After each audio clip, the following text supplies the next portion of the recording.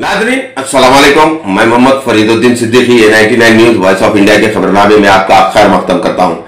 आइए डालते हैं आज की खबर पर नज़र। नादरीन खबर के अख्ताम पर हमारे चैनल को लाइक, शेयर, सब्सक्राइब करना ना भूले। खासकर बेल के बटन को दबाना बिल्कुल ही ना भूले, जिससे हमारे खबर की इतला आपको मिलती रहेगी। आइए डालते हैं खबर पर नज़र।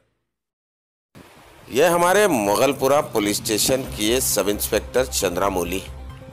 Hyderabad city police commissioner की जानिब से हिदायत दी गई है कि रमज़ान के मद्देनज़र आवाम के साथ रियायत की जाए और उनसे नरमी से पेश आए।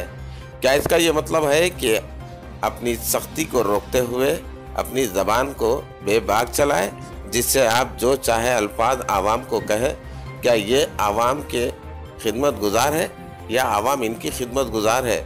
इनके अंदाज बयान से ये महसूस हो रहा है कि ये अपने काम वालों को डांट रहे हैं। इनके अंदाज बयां को देखिए और अंदाज़ा लगाइए कि पुलिस अपने हाथ को रोक रही है तो जबान चला रही है। कितनी बेबाकी से इन सब इंस्पेक्टर चंद्रमौली आवाम को गाली देते हुए नज़र आ रहे हैं, जबकि ये खुद अपने चेहरे पर मास्क नहीं लगाए हैं, बल्कि मास्क को वायरलेस के ऊपर अटका कर रखे हैं। आवाम अपनी हकीकी ज़रूरत बताने के बावजूद भी इन्हें रोक दिया जा रहा है।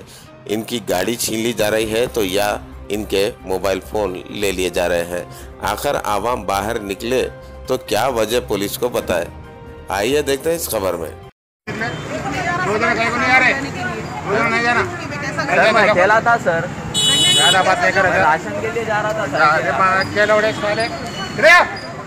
तमाशा कर रहे। बाजू बैठो बाजू बैठो। बाजू बैठो।